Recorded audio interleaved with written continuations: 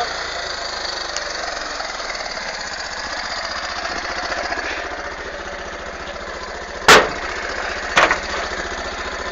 Yeah. yeah.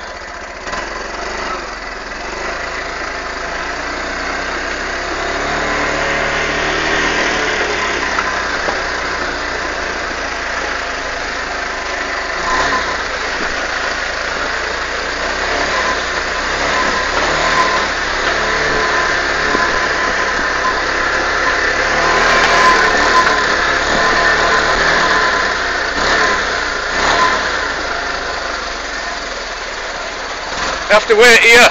Wait.